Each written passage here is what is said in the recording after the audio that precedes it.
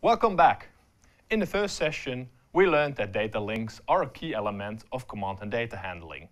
A data link is provided by a physical bus, a data protocol, and electrical signals. The combination is often referred to as data bus, although there could be some confusion in the terminology. We are going to look at the dominant data bus types implemented in spacecraft. The military standard 1553 is very common uh, very common in large spacecraft. People also simply call it MILBus. The data bus comprises of a bus controller and up to 31 remote terminals. The bus controller could for instance be an onboard computer. A remote terminal could be a controller of a subsystem or it could be a router connected to multiple other subsystems. It uses two wires for a differential signal. Remote terminals tap into the same physical bus. This bus topology is called a linear bus. It is also a serial bus since all data is transmitted sequentially. All devices use coupling transformers to connect physically to the bus. In this figure you see a simplified version with only a single transformer. In practice there could be several passive elements depending on the distance between the tapping point and the remote terminal. The important aspect of the transformer coupling is that the main bus is protected against short circuits which can occur at the subsystems. As you can understand, this improves the overall reliability of the bus. The data of the MIL bus goes up to 1 megabit per second. Here you see the data matches protocol for a transmission from the bus controller to a remote terminal unit. It all starts with a synchronization signal with a period equivalent to 3 bits. Why is this needed? Well, the remote terminal does not yet know at which exact frequency the data is provided by the controller. It needs to synchronize its clock first in order to be able to distinguish sequential bits. After the synchronization follows the address of the remote terminal. This tells for which remote terminal the message is intended. Next is a single bit, which indicates if the uh, controller will send a message to the receiver or expects a message back. This is then followed by a sub-address, which can be used for devices connected to a router. Then it is specified how much words the message should contain. The message header ends with a parity bit, which can be used to detect a single bit flip. In case of a transmission, the header is followed by the message of n times 16 bits. The receiver subsequently acknowledges the reception by transmitting its address and providing a status word to indicate good reception or false. For receiving, there is a slightly different order in which the remote terminal first responds with its address and status word, followed by the message word of again a multiple uh, of 16 bits. There are also different sequences which only contain status words or allow communication between remote terminals, but in all cases the bus controller leads the transaction. Now let me explain you the purpose of a differential signal. A differential signal simply means that the signal on one of the two wires is identical to the signal on the other wire, but in opposite direction. If we measure the difference, it simply looks like this. Now we look at the same signal, but this time there is an external electromagnetic noise present which distorts the signal. The wires are very close, so the electromagnetic disturbance coming from an external source is about equal and in the same direction on the other wire. If we look again at the difference, we see a clean block again, since the noise is cancelled out. This is called common mode noise rejection. Here you can see the differential signal as measured on a logic analyzer. The peak-to-peak -peak differential is about 28 volts. This is very high compared to other buses and also very power demanding. So why is this? Well, the differential signal, the high voltage and a shielding around the signal wires makes this data bus very robust against electromagnetic interference. To enhance reliability further, this bus is typically implemented in a dual, triple, or even quadruple redundant configuration. The high reliability is one of the most important reasons why this data bus which is already around since the 70s, is still implemented in many expensive spacecraft. It will, for instance, be used in the JUICE mission to watch Jupiter's moons. If you have followed the course on space exploration, you are probably very familiar with this mission. JUICE is planned for a launch in 2022 and will arrive in 2033. Imagine that by then, this data bus is already 60 years old. So let's take a look at a few alternatives. The I2C data bus is also a serial data bus with a linear bus topology. It uses one wire for a data signal and one for a clock signal. Both lines are pulled up to a reference voltage by the use of simple resistors. The reference voltage is typically 3.3 volt or 5 volt, similar to supply voltages of many integrated circuits. The master device controls the bus and communicates with up to 112 slave devices. The signal is generated by pulling down the lines to the ground. The data rate is for most practical cases limited to 400 kilobits per second. Thousands of integrated circuits have implemented an I2C controller, ranging from microcontrollers to special purpose devices. Compared to other buses, I2C consumes very little power.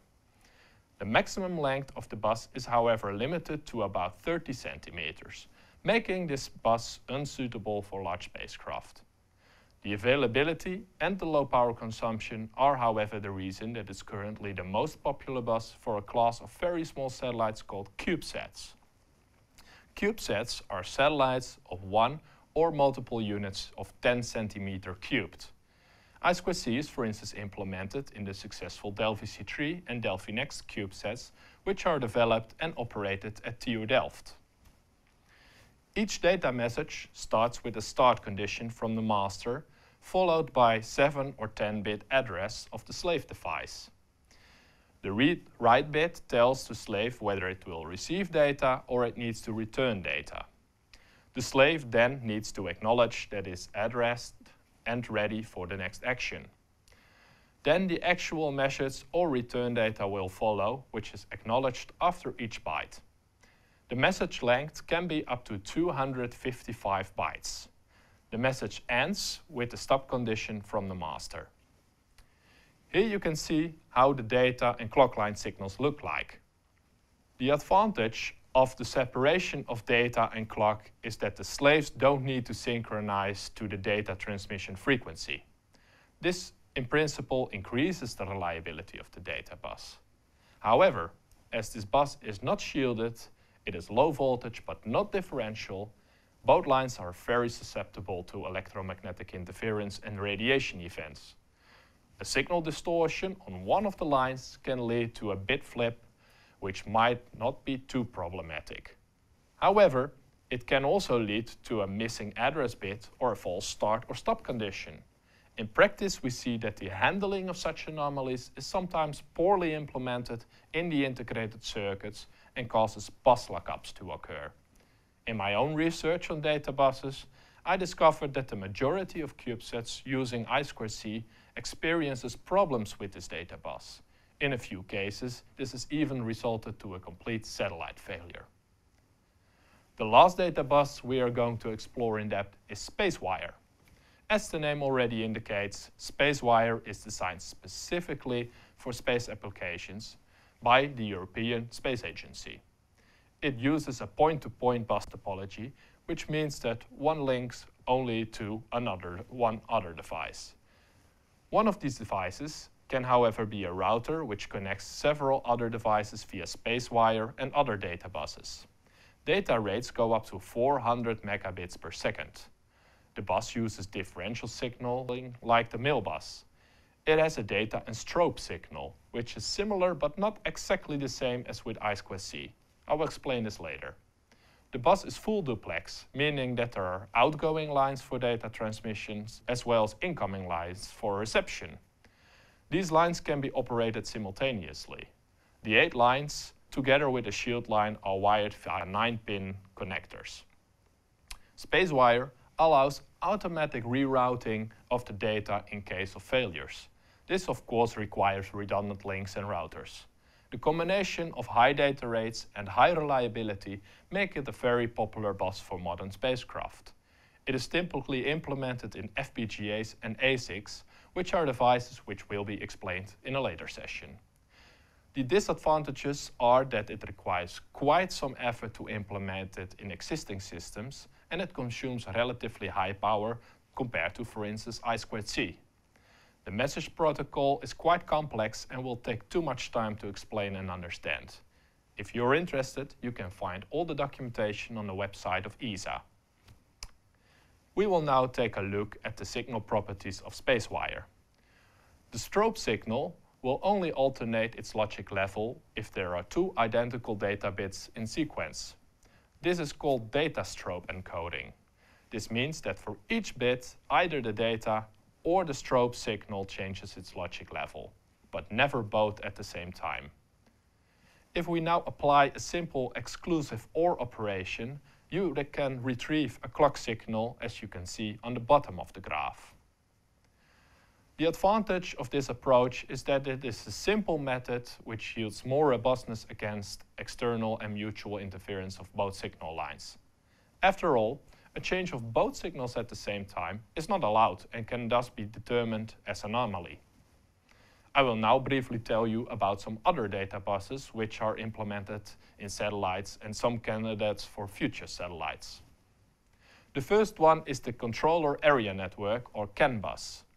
CAN is a differential bus developed for the automotive industry. It is designed for time-critical functions. Its recent versions support data rates up to 5 megabits per second. In terms of performance, power consumption and reliability, this bus takes the middle ground compared to the buses discussed before. Serial Peripheral Interface, or SPI, is a data bus which has close resemblance to I2C. However, it does not use digital addressing, but has a dedicated slave select wire per device connected to it. Also, it is full duplex. Its maximum data rate is only limited by the clock speeds of the master and slave device and can be up to several hundreds of megabits per second. For the rest, the advantages and disadvantages are similar to I2C. Time-triggered Ethernet is a variant of Ethernet as you find it in your wired computer network at home or at work. It is a modified version to be more robust and to allow time-critical operations, but it can be connected to terrestrial Ethernet devices such as a personal computer. Data rates currently go up to 100 megabits per second. One of its main advantages is that it is an extension of a widely adopted standard for terrestrial application. You can even think about your satellite as a network of devices which can be addressed through the internet. We might see this bus in the near future in some satellites. RapidIO is a data bus for computer systems with extreme performance for time-critical operations. The throughput is up to 10 gigabits per second for one lane and can even be multiplied by adding more lanes. It is implemented widely in mobile phone infrastructure for instance, the equipment at cellular towers. The performance and its robustness makes this point-to-point -point data bus interesting for some dedicated space instrumentation with very high performance requirements. There are, however, many potential data buses which can be implemented in a spacecraft. Space industry is looking more and more at the implementation of widely adopted terrestrial standards with or without modification. Also, you might see some experiments with wireless communication inside a satellite in the near future. Think of Bluetooth and Wi-Fi as examples. The possibilities are endless, but keep in mind that for larger and more expensive spacecraft, reliability typically comes first place. It is therefore likely that you will see most of the newer data buses implemented first on small demonstration satellites. This ends the session on data buses. Good luck with the exercises.